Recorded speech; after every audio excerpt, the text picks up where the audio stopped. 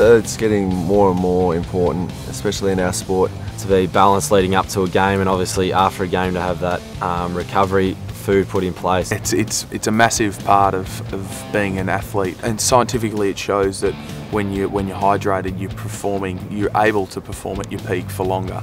Having each guy understand how much fluid he needs to consume, how much energy he needs to take in, um, you know, the right amount of electrolytes for him. It all adds up. I've had a lot of trouble with keeping my body mass on throughout a game, so you've got to find out the best way and how and where and when I've got to get these fluids in. It's so important to, to have that balance and um, that's what we've, we've got here over the last few days and um, hopefully, yeah, during a game it can it can make the difference and um, deep into the game to keep you, I guess, focused and performing at the best you can.